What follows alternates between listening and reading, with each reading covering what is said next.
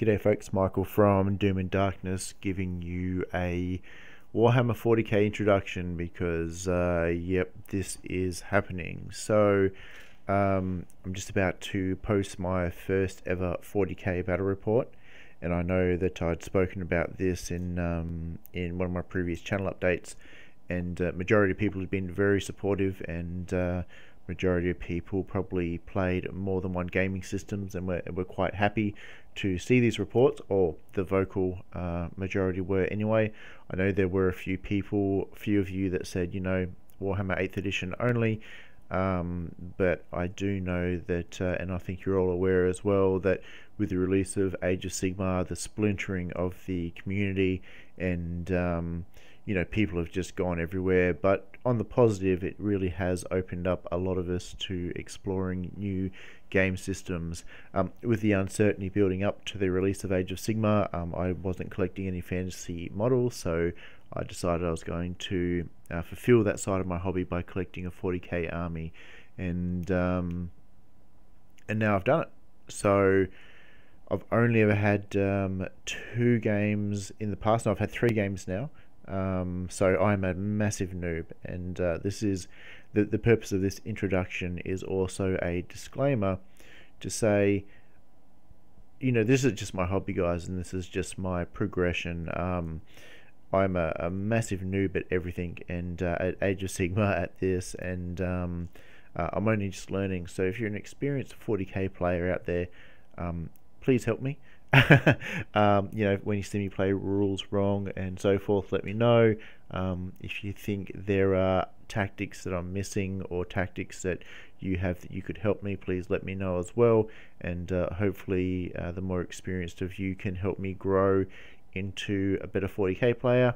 And perhaps the um, people that don't play 40k at the moment um, might take the time to to watch a report and decide that with all the uh, shenanigans going on with Age of Sigmar and so forth, they might like to give it a crack as well. Now, Age of Sigmar is going to be the dominant game on this channel. Um, the Warhammer 40k reports will probably be, um, I don't know, maybe maybe once every two or three weeks. Uh, there's not going to be a massive amount of them because when I do get to play a game, I'm probably going to be trying to play Age of Sigmar, but um, I, I don't mind throwing in 40k to, to break up the uh, the games. And of course, if anyone ever wants a game of Warhammer 8th Edition, um, I'm more than happy to have a game as well. So you're going to see all three uh, games on the channel from here on in, but um, predominantly they probably will be Age of Sigmar and that's just because that's what people around here uh, seemingly want to play. So this is just to introduce my army and my tactics and my thoughts and uh, chapter and all that sort of stuff and then I'll put up the report and uh, we'll take it from there. So um, I actually found building the army was well all, all ideas I really thought well I'm, uh, I'm new to this hobby I don't want to take it too seriously, so I probably just want to make an army out of the models that I like the most. And um, I've got a soft spot for dreadnoughts. I think dreadnoughts are just freaking awesome. Um, so I thought, right, how many dreadnoughts can I get? And also, they, they're quite cheap. You know, people sell dreadnoughts secondhand, um, left, right, and center from the, you know, because they're often in the starter kits and so forth. And I think they're probably only fairly mediocre. I understand they just got a bit of a buff, but from what I've read, most people say they're a pretty average sort of unit. So I figured, hey, here's a way that I could probably build an army uh, on the cheap with the models that I just love the most, and um, I'm going to try and jam as many dreadnoughts in here as I can. So I built a, an army like 1500 points or so with um, I think it was three dreadnoughts or, or something like that. Um, and then I found out, and then I had to choose what chapter I was going to take. Now, this was the hardest thing about building a Space Marine army, was really deciding what paint scheme you want. You know, that I mean, that as simple as it is, I, I looked at the chapter tactics and I looked at the paint scheme. I didn't want to do Ultramarines because I felt like everyone does Ultramarines. You know, they're the blue smurf, they're the poster boys, the 40k. Um, and all the other paint schemes that I liked were successor chapters of um, Ultramarines. So I was like, ah, uh, or White Scars. And I don't think, you know, I'm such a noob, I can't play with White Scars chapter tactics at the moment because I'm, I'm just not good enough to, um, for that level of gameplay yet, I think.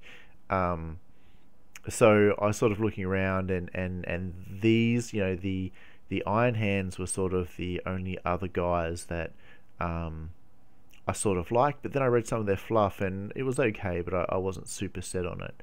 Um, anyways, went down to my local store, started talking to the, the store manager there, and then he told me about. I kept asking him, is there a way that I can take, because in my BattleScribe, um, there was a way that I can take dreadnoughts as my heavy support and my elite so I can actually build an army of more of them and I thought that's got to be there for a reason. So I kept asking him, "Is there is there a way that I can take more as my heavy support, heavy support?" And then he decided, and then he found the uh, Clan Raukaan uh, supplement, and and the Clan Raukaan is a um, a clan. It's the third company of the Iron Hands um, Legion or chapter, and uh, they basically specialize in dreadnoughts and just um, allow you to take a ton of them. So we had a quick read through that book. We had a look at what I would need for the minimum requirements to run Clan, Clan Raukaan, and uh, that was it. I was sold. Iron Hands it is, and uh, dreadnoughts. Here we go. So.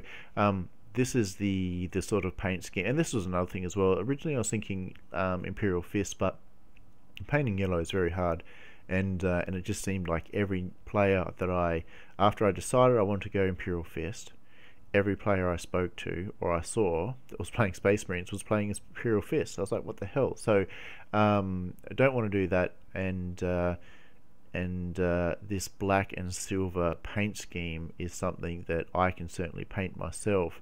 However, I think it's so basic that uh, it's actually quite hard to do, you know, because you can just do black and silver and some red and yellow dots, but that kind of looks boring. So to do it well, I think to do it well is, is beyond me, but um, I can do it to a tabletop standard anyway, so that made it easier. The only other thing I'm, I'm a bit upset about is that I think on the transfer sheets, sheets that come with the models when you buy them, the Iron Hands are the only transfer sheets that uh, aren't included, like the only icons that aren't included. Everything else is there, but there's no Iron Hand. So I'm going to have to buy them from Forge uh, Forge World, and uh, they're like 18 pounds. So um, I will get there in the next few weeks and get them and put them on. But at the moment, my stuff is unmarked, unfortunately. Um, so chapter tactics, the the Iron Hands have got uh, this Flesh is Weak, which is pretty good. So all of your um, or all your non-vehicles um, get a Feel No Pain 6 up. And if you're new to 40k like me uh, and you need to translate it across to um, fantasy or something, 6 up, uh, Feel No Pain is basically a 6 up ward save. So getting a sort of free 6 up ward save across the um, across your whole army is uh, pretty awesome, I think. Well, you know, you, you won't say no to it. But this is the main thing. It's called Machine Empathy, and it's um, uh, Iron Hand's characters and vehicles have the It Will Not Die special rule. So what that does is that at the end of my turn, uh, for each one of my vehicles, I roll a d6, and on a 5 up, I think I get a wound back, and I heal, like if I'm damaged or immobilized or something, that heals up as well. So when I've just got mass dreadnoughts walking around, um, for the ability to heal them up at the end of the game, that is absolutely fantastic. Now it says here as well, Tech Marines add one to their blessings of the Omnissiah rolls. What that means is I get plus one to my repair. So I think Tech Marines do it normally on a five up, and then this makes it a four up. Um, I'm not sure. Someone who, who's more experienced than me probably needs to help me out here. Um, so I think Tech Marines do it on a five up, and then you give them the servo harness, which makes it on a four up and then this blessing of the Omus, uh, this uh, Iron Hands chapter tactic would make them repair in a three up. Is that right? Um, leave me a comment if you know. But either way, that all sort of synergizes quite well, I think, with um, uh, you know with my army, my army plan, and then I've also got a uh, well, I'll go into that next. So here is my army. Uh, you can see my son's toys are in the corner, and this these are my toys at the moment. So um, I actually don't really like Space Marines much, like as just Space Marines. Um, well, I don't mind them, but I, I, I, don't love them, and I wanted to try and fit in as many dreadnoughts as possible, and that meant probably skimping on my troops a bit. So at the moment, I've got a unit of 10 snipers with a, a missile launcher. They're just going to camp in the back in some cover somewhere and uh, pew pew. I've got a unit of 5 scouts. Now, I've only got them in there because I really, I just, because I need two troop choices. Um, I know you can play Unbound in this, but I think in my sort of area and community, um, most people don't play Unbound, so I don't want to, you know, be brand new saying, "Hey, let's play Unbound," and they're like, you know, piss off, you know. Um, so I've got a unit of five scouts in there. They've just got a heavy bolter, and um, I mean, I could run the two uh, five-man scout units to to you know with sniper rifles to cut it down, but um, I think this is okay. The five-man bolter bolter scouts can be flexible and go after objectives and so forth while the um, scout snipers can try and do some damage. The um, assault marines they're just vanilla. I'm just running the vanilla at the moment, so they've got a, a, a sergeant, but uh, there's no special weapons or power fists or anything like that in there. And then I've got three Devastator Centurions. So the Devastator Centurions have got the uh, uh, I've given them the grav weapons, grav amps, and hurricane bolters.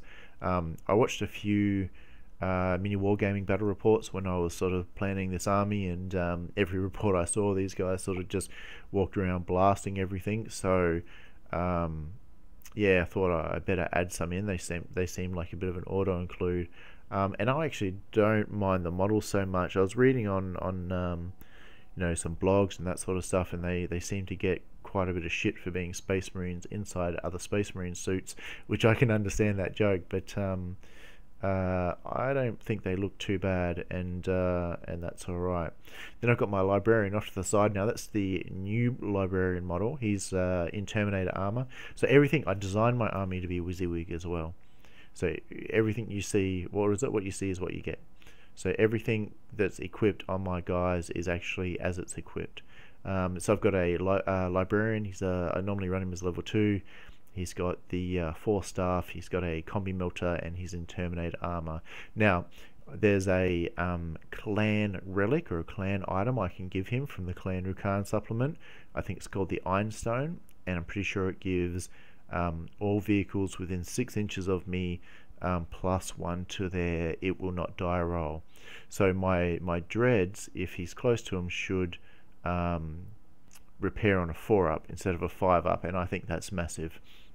Now I do have a uh, Tech Marine as well, which I don't have in this picture. I'm, I'm, I'm, in the process of painting them up at the moment, but I have to take a Tech Marine as a part of the, the Clan Raukaan, and I don't mind either um, because I think they're pretty handy. So then we've got, uh, on top of the drop pod, I've got my Ironclad Dreadnought, and I just gave him double heavy flamer. Um, people were sort of talking about all sorts of builds, and I just thought I'll build him how I, how I want, and um, and I like the idea of dropping down and uh, burning shit and then charging in and wrecking face. So um, I've kitted him out as well. He's got double hunter killers and uh, and to be honest with you, he's sort of my pride and joy. He's he's a bit of my lead dread and. Um, uh, I don't mind him being probably more expensive than what you know he he uh, he can he can do because he's um, yeah I just like him I've got a soft spot for him so that's his drop pod under there I gave it the missile launcher I've never seen people really take the missile launcher, but I just thought, heck, why not? You know, if I'm going to drop pod him down and he's meant to, to pop out and uh, hurt stuff, may as well give him a bit of support as well. So then in the middle, I've got three venerable dreadnoughts. So um, the dreadnoughts you can upgrade, uh, and it gives them plus one weapon skill, plus one ballistic skill. So they go to a weapon skill, ballistic skill five, which is awesome.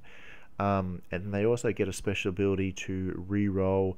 Basically, if you penetrate them, you roll a d6, and then depending what you get, has certain results. So, like shakes them, immobilizes them, or just makes them blow up, so they can just die straight away. Um, the venerable dreadnoughts have an ability to make you re-roll that, but I have to accept the second roll. So I think that's pretty important because if you hit me and you roll a, a six and make me explode, I can get you to re-roll it, and odds are um, I'm going to save my life. So they're pretty awesome.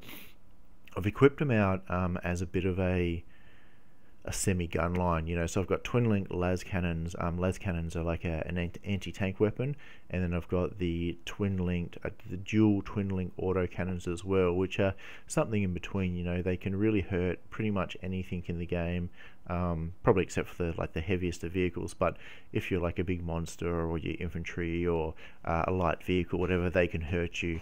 Um, so I can put out some some some fairly good penetrating firepower out of this unit, and I've still got uh, two flamers on on on the unit as well on the power fist, so I can still walk across the table. I can get into combat. I can assault, um, and I can also do an anti-vehicle. Um, you know, sort of roll one there, and they're in a unit as, as three. Then off on the, the right hand side, I've got two dreads. Um, they're just solo dreads, so they're just basic, uh, pretty much vanilla dreads, um, running them by themselves, and they've just got the assault cannon, and uh, one's got a storm bolter, one's got a heavy flamer. Um, I sort of bought them secondhand, so uh, I mean the the the arms are replaceable. I've got all the other weapons here, so I can swap them in and out, in and out as I want. But the power fist, I like running them with that power fist, and um, uh, one of them had the storm bolter already attached to it, so stuff it. I don't mind running them with that. And they're just really there to be versatile. They're there to roam singly, um, react where they want. If they need to run over to old Ironclad and support him and uh, assault with him, then they can. Um, if they need to just uh, work together and shoot out infantry, they can do that. Um, and they can just, you know, perform that sort of role. So I've got my Venerables to take out vehicles uh, two lone dreadnoughts and my ironclad to take out infantry and, and sort of weaker stuff, and then the centurions just uh, uh, the, the, centurions just kill everything. Um, but I've got a bit of a, a, a, battle plan how I want to play these guys. Um, I've played, like I said, I've played two guys in the two games in the past, and one of the games I used this this strategy and it worked quite well. Um, and I'm sure some of you 40k guys are just laughing at the moment, thinking this guy's got no freaking idea. Um, but hey, we're just having fun, so uh, let's see. So this is basically my battle deployment idea and my basic tactic that I'll be trying to use in most games. And um, uh, I won't take too long talking about it because it's really not that fantastic. It's pretty newbie, but um, whatever. So this is roughly what my deployment would, would look like. Um, my Centurions can be pretty flexible. They I can drop them down wherever I need them to be, really. But uh, unit of, of scouts will camp in the back somewhere and, and you know shoot stuff. Uh, not very complicated. Five man unit of scouts I can uh, I can put wherever I need to. They'll steal objectives or um, just run around and pew pew. But really, I think they're just going to die. Um, but the main thing is this blob you can see in the middle. So I want to run my, my three Venerable Dreadnoughts at the front as uh, providing cover for the guys behind. So as the Venerables move up, shooting, um, focusing their fire on vehicles, my Assault Marines with my Librarian and my Tech Priest will be moving up directly behind them. So by staying in directly behind them, I'm giving a cover save to my Assault Marines. I'm keeping my Librarian with my Ironstone within six inches of them, so they're going to get it will not die on a four up. And then my, my tech priest is going to be in that unit as well, so he can heal them if they take any damage. So that's sort of the plan. And also the bodies of the assault marines are there just as a bit of a bunker and to absorb some fire if they get shot at, so that my my HQ and my heroes don't get shot. Um, the two dreadnoughts will sort of go either flank, and like I said, they're just going to be flexible. Um, they're going to shoot at uh, whatever they, they can, and they're going to you know just go where they need to go and support when they need to so uh, support. They've sort of just got assault cannons, um, so I've sort of just pinned them down to be sort of anti-infantry or um, uh, you know anti like heavy infantry but they've still got the power fist, so I can still charge them into a vehicle if I need to, and um, and pop it with a, a big punch. Um, and then obviously my dreadnought as well. So my, my my ironclad will come down turn one, hopefully get some attention, hopefully get tied up in a big unit and just smashing stuff, um, while my other crap walks across the board. Now once I get to a point where I need to assault with my dreads or my um, assault marines, I'm going to move my librarian and move my tech priest out of the assault marines, so move them out of the unit, and then I can um, assault one unit with the dreads, and then I can jump pack my assault marines over the top of them into another unit or both into the same unit whatever. But um, it just gives me that sort of or if there's a big nasty unit coming in at them that's going to wreck my dreads I can sort of assault uh, jump my marines over the top into them and ho hopefully tie them up until I can work something else out. So that's sort of my plan. I think it gives me a, a good basic to, uh, basis to sort of start on. Um, I can use the assault marines as sort of chaff and redirectors or to just to take out something that's on the way um, that I don't want to you know redirect my dreadnoughts off into so dreadnoughts can march towards the target assault marines can peel off and deal with whatever they need to um, yeah and and and I think it's going to work pretty well I ran this the the second game I played in this sort of style and um, it worked quite good. And then I've got the next game coming up. Uh, well, the, my first ever report I'm going to do um, that I'm about to post, and in that it worked quite well as well. So um, let me know what you think of the army guys, of the the thought of the the strategy, all that sort of stuff. Um, I'm trying to stay themed and pretty thematic, so I'm probably not going to drop dreadnoughts to add other stuff, but I'm am likely to drop other stuff to add dreadnoughts um, or other walkers. So this is 1750 points. I'm trying to build it up to 2,000 points, um, and 2,000 points is really just another ironclad and two more drop pods.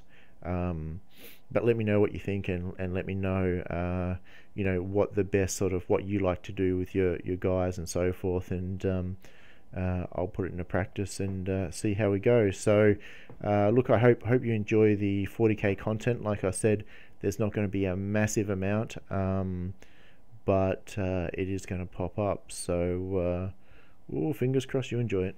Thanks, guys.